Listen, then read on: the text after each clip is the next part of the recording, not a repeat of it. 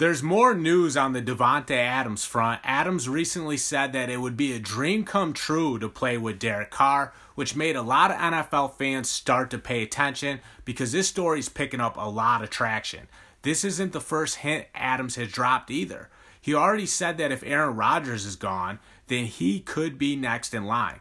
The reality is the Packers are collapsing into ruins, so Adams is starting to put out some feelers to see what is the best move for him.